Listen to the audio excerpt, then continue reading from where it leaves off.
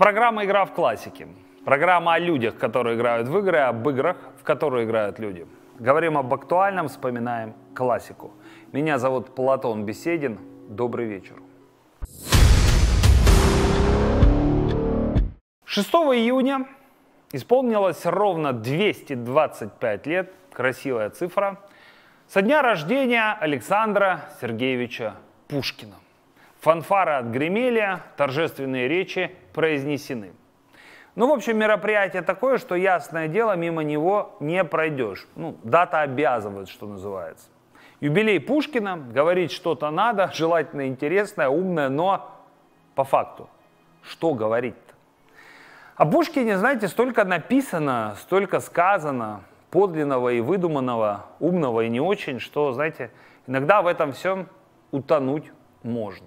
Ведь если кто-то в нашей стране, даже в нашей цивилизации, если угодно, кто-то известнее Пушкина, Юрий Гагарин, Александр Суворов, кто?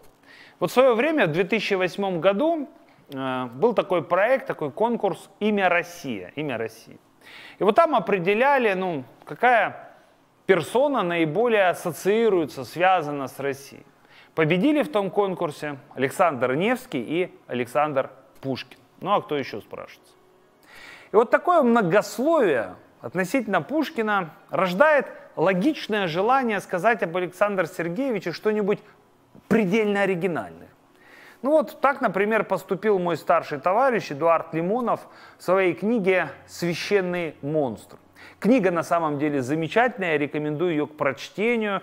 Это книга о великих, такие эссе о великих и просто известных людях. Там Леноне, Достоевском, Гагарине, Монро, Жене и так далее, и так далее. Но вот эссе, открывающее этот сборник, Пушкин, поэт с календарей, ну, честно сказать, она довольно беспомощная и местами даже глупая. Ну, на мой взгляд, ровно по той причине, что Лимонов как бы решил шокировать, удивить своим оригинальным прочтением, видением Александра Сергеевича. Вот в 20-х числах мая я побывал на колоссальном мероприятии «Литературный флагман России». Мероприятие проходило в Казани, очень насыщенная программа. Организатором выступил Российский книжный союз. И вот президент Российского книжного союза Сергей Вадимович Степашин, выступая на пленарном заседании, вспомнил, э, что как раз-таки на времена, когда он был премьер-министром, пришлось празднование 200-летия со дня рождения Пушкина. Дата феноменальная. И вот так называемые спичрайтеры, значит, э, написали там тексты, мысли, но Сергей Вадимович, прочитав все это, решил читать стихи вместо торжественных слов. И, на мой взгляд, это правильное решение. Ну, что тут еще ведь сделаешь, да? Можно ли, в принципе, сказать что-то об Александре Сергеевиче, что-то новое совершенно, полное, свежее? Ну, например, после того, как на секундочку речь о нем, ту самую речь произнес Федор Михайлович Достоевский. Вот что тут скажешь после? Да, я, конечно, говорю о той самой знаменитой пушкинской речи, опубликованной она в дневнике писателя. Ну, на мой взгляд, это не просто речь о поэте, о России, о литературе, нет. Это действительно манифест русской цивилизации, русского народа. И перечитывать, прежде всего, верхам эту пушкинскую речь Достоевского надо, ну, минимум раз в год. Мечты, мечты. Вот сколь точно там все сказано, сколь верно, ну, например, об отзывчивости русского человека, да, берущего лучшее оттуда и превращающего его в свое, подлинно свое. И вот Пушкин, говорит Достоевский, лишь один изо всех мировых поэтов, обладающий свойством перевоплощаться во вполне чужую национальность. Это очень точно подмечено. Ведь действительно Пушкин смог взять лучшее, лучшее со всего мира, да, и сделать это русским, своим, настоящим, фундаментальным, основополагающим. То есть он сделал классику, мировую классику русской, а русскую классику мировой. Вот формула. Мировую классику он сделал русской, а русскую классику мировой. То есть именно Пушкин Именно Пушкин заложил фундамент абсолютного, подчеркиваю, абсолютного величия русской литературы, сильнейший, мощнейший в мире. Конечно, не он начал ее. И до него были великие. Разве плох Боротынский? Нет, конечно. Но именно Пушкин стал одновременно и точкой сборки, и точкой отсчета великой русской литературы. И вот когда я говорю все это, то ни в коем разе, уважаемый зритель, нельзя забывать, что русская литература при всем своем величии, она ведь очень молодая. Смотрите, между днем рождения 1799 год Александра Сергеевича Пушкина и днем рождения год 1899 Андрея Платоновича Платонова всего 100 лет. Но сколь много входит в этот век. И Лермонтов, и Достоевский, и Толстой, и Гончаров, и Тургенев, и так далее, и так далее. Священные монстры, действительно. Но за счет чего достигнуто такое величие? За счет чего такой эффект? А вот во многом благодаря той самой мировой отзывчивости. Умению, отов... таланту, таланту отовсюду брать лучшее и делать его своим. Вот почему, к слову, в качестве второго имени я назвал Андрея Платоновича Платонова. Во-первых, чтобы задать, обозначить столетие великой русской литературы. Ну а во-вторых, Платонов был одним из немногих, кто действительно создал свой язык, повторить, воспроизвести который невозможно. А ведь писатель это в первую очередь язык. Всегда и везде. Однако Александр Сергеевич Пушкин, он пошел еще дальше. Он создал язык, создал язык, на котором мы говорим до сих пор. Вы только представьте. Ну или так, пытаемся говорить.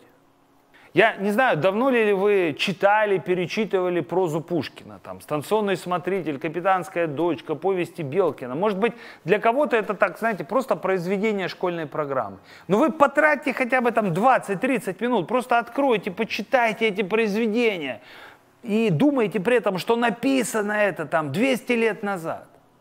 Но какой язык? Свежий, искрящийся, живой – настоящий, он абсолютно современен. Это эталон. И в этом, в этом абсолютное пушкинское величие прежде всего. Создать то, что другим в принципе было не подвластно. И сделать общедоступным. Вот Николай Васильевич Гоголь, к слову, этому гению тоже помог Пушкин, когда-то написал о русском языке «живой как жизнь». Позднее Корней Чуковский назвал так книгу о русском языке, обязательно к прочтению, замечательная книга «Живой как жизнь». Вот это очень точно. Ведь и Пушкин, он тоже живой как жизнь, он бессмертен и вечен. И дело тут не в многочисленных памятниках, там, переизданиях, собраниях сочинений, в пушкинской там большой истории. Нет, дело тут прежде всего в том, что именно Пушкин во многом или отчасти, тут пусть каждый сам определится, но именно он и есть. Пушкин и есть тот самый русский язык. Он как бы заключает его в себе. Мы говорим как Пушкин, и мы говорим с Пушкиным и на Пушкине.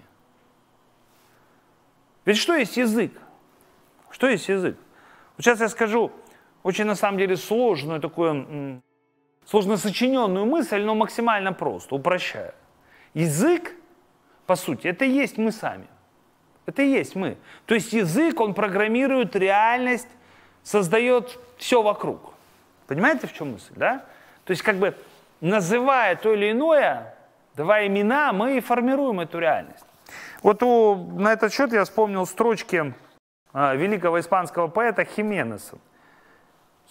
Остаются навеки одни имена.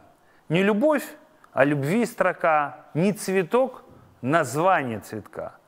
У любви и цветка жизнь бессмертие, когда им даны имена.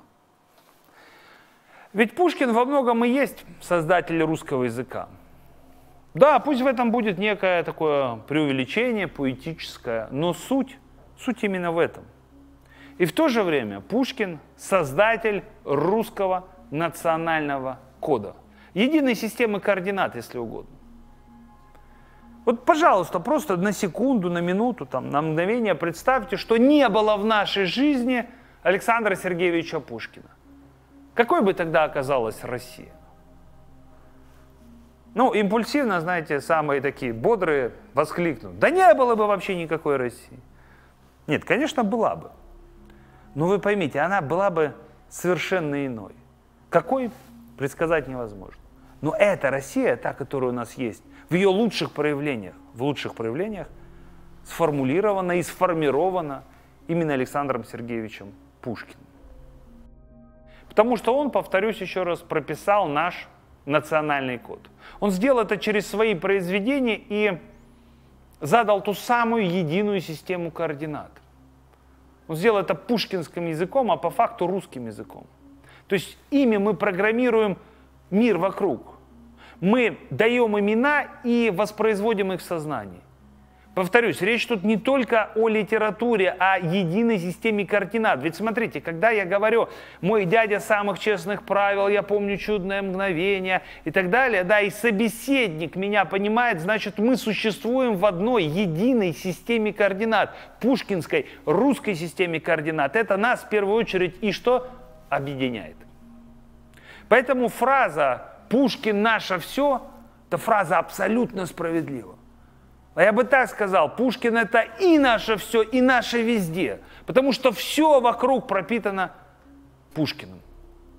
И опять же, прав был Гоголь, когда он написал, Пушкин есть явление чрезвычайное. И может быть единственное, единственное явление русского духа – это русский человек в его развитии, в каком он, может быть, явится через 200 лет. Блестяще. То есть явится через 200 лет с тех времен, то есть он должен явиться совсем скоро, этот русский человек. Ну, конечно, к сожалению, глядя вокруг на людей, на события, я совсем не уверен, что Гоголь был пророчески прав. Скорее наоборот. Но, во всяком случае, это точно. Пушкин дал всем нам шанс, дал программу, дал установку, показал нам путь. Ну а как мы будем идти по нему – то уже наш выбор и наша задача. Ну и на этот счет я закончу строчками из Александра Сергеевича, вы все их знаете. «Я вижу некий свет», — сказал я наконец. «Идишь», — он продолжал, — «держись всего ты света, пусть будет он тебе единственная мета, пока ты тесных врат спасения не достиг. Ступай!» И я бежать пустился в тот же миг. Это была программа «Игра в классике», пушкинский выпуск. Меня зовут Платон Беседин. Берегите себя, своих близких и помните, жизнь только подражает литературе. Удачи вам, любви, мира и терпения. Перечитайте сегодня Александра Сергеевича Пушкина.